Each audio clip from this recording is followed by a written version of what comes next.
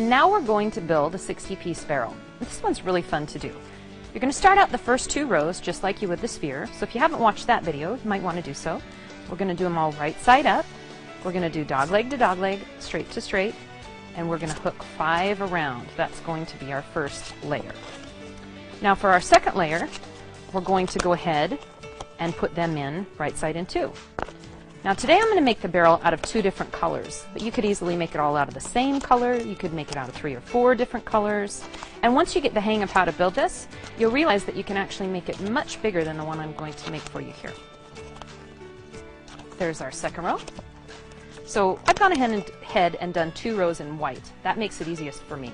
I'm going to go ahead and leave that pile right side up, and I'm going to take the second pile and I'm going to flip it over so that we're going to work with this stack of pieces backwards.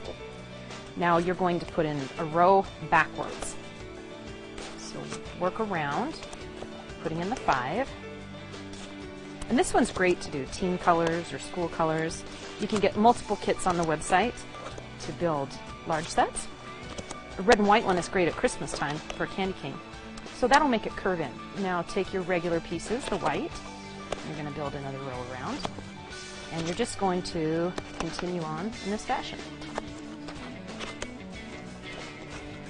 Put your pieces a little bit closer.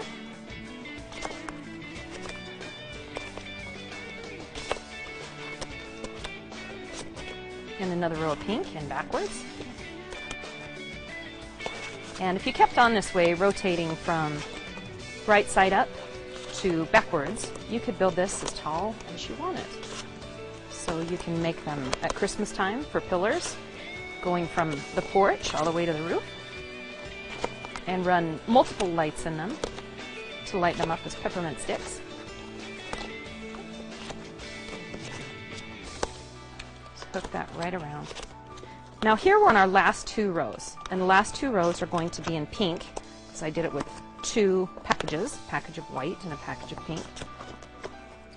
So instead of flipping this next row right side up, we're going to continue to put it in backwards, and that's going to cause the barrel to close.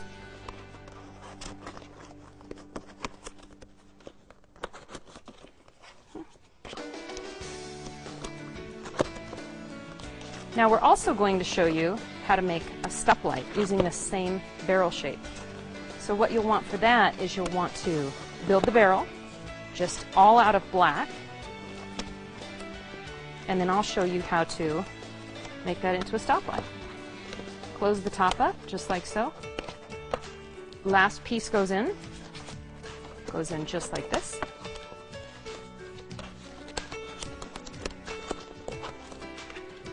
And now you've built a 60-piece barrel.